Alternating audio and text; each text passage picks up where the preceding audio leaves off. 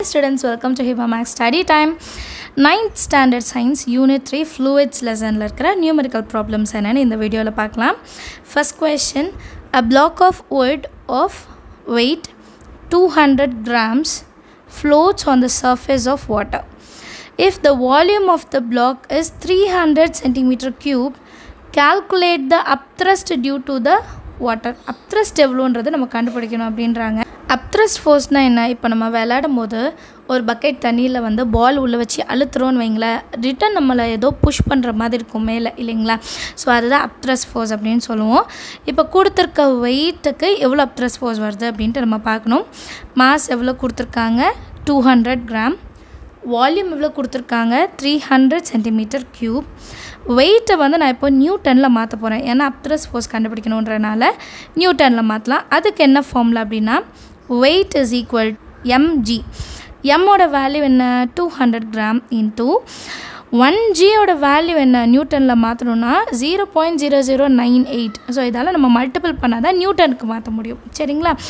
So கிராமை நியூட்டனுக்கு மாற்றுறதுக்காக zero point zero zero nine எயிட்டால் multiple பண்ணுறேன் நான் அப்படி மல்டிபிள் பண்ணும்போது என்னோடய answer one point nine six N வரும். சரிங்களா? இது மல்டிபிள் பண்ணுறது ரொம்பவே easy ninety eight into two பண்ணலாம். Eight two sir sixteen balance one nine two sir eighteen nineteen. One nine six கிடச்சிருச்சு. இப்போ என்னென்னா டூ ஹண்ட்ரடு ஸோ இதில் ஒரு ஹண்ட்ரட் இருக்குது இங்கே பாருங்கள் ஒன் டூ த்ரீ ஃபோர் நாலு நம்பர் தள்ளி பாயிண்ட் இருக்கனால டிவைடட் பையில் நாலு ஜீரோ வரணும்.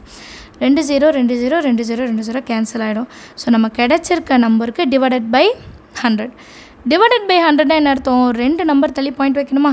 அப்போ ஆன்சர் பாருங்கள் one point nine six newton ஈஸியாக இருக்குது பார்த்தீங்களா இப்போ நான் ஆல்ரெடி சொல்லியிருந்தேன் பால் வந்து நம்ம உள்ளே தள்ளும் போது தண்ணியில் ஒரு ஃபோர்ஸ் வந்து நம்ம மேலே தள்ளும்.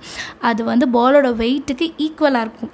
So wooden block is floating on water அப்போ நெட் ஃபோர்ஸ் எவ்வளோ இருக்கும்? உடன் பாக்ஸ் எவ்வளோ நியூட்டனில் இருக்கோ அதுதான். One point nine six newton hence the weight of wooden பிளாக்கும் upthrust due to water ஈக்குவலாக இருக்கிறனால நம்ம வெயிட் ஆஃப் உடன் பிளாக் எவ்வளவோ அதுதான் அப்த்ரஸ்ட் வந்து உடன் பிளாக்கும் கூட. ஸோ நான் டைரெக்டாக அதுவே எழுதலாம். Therefore the upthrust on the wooden block. இதை எழுத வேண்டாம். சரிங்களா?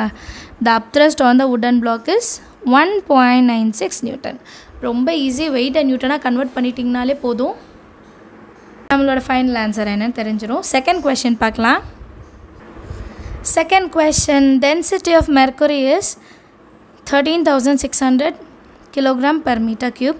Calculate the relative density அப்படின்னு கேட்குறாங்க சரிங்களா? ரிலேட்டிவ் டென்சிட்டி எப்படி கண்டுபிடிப்போம்னா density of மெர்க்குரியையும் density of water at four degree செல்சியஸையும் divide பண்ணிவிட்டு நமக்கு என்ன ஆன்சர் கிடைக்கிறதோ அதுதான்.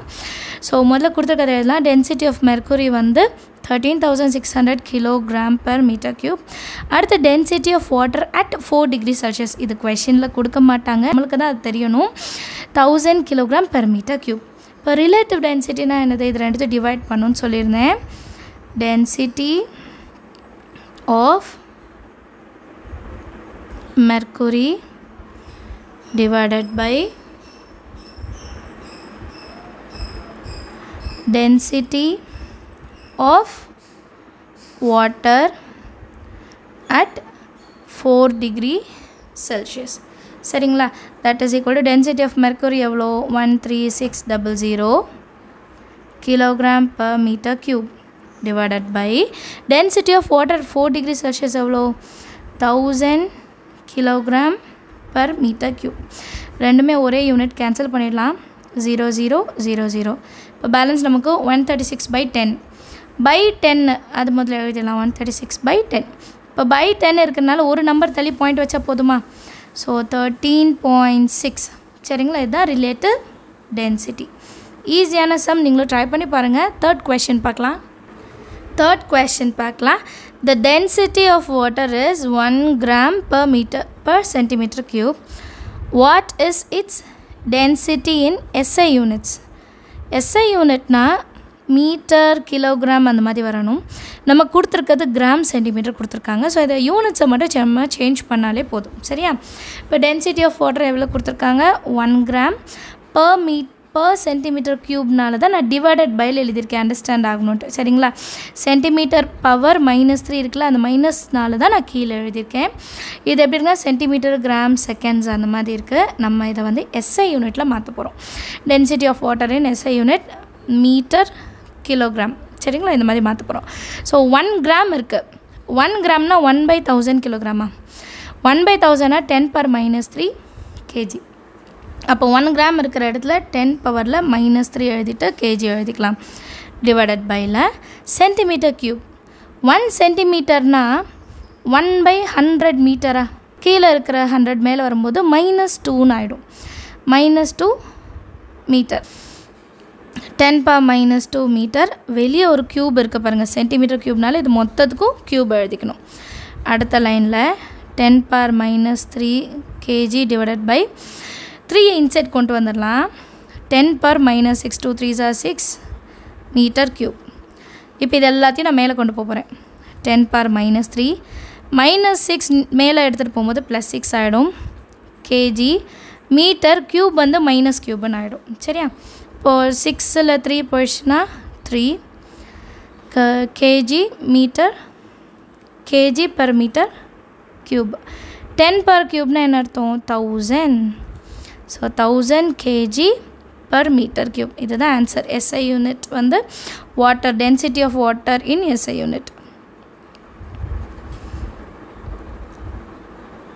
in SI units ஈஸியாக இருக்கு இல்லையா சம் நீங்களும் ட்ரை பண்ணி பாருங்கள் அடுத்த கொஷின் பார்க்கலாம்.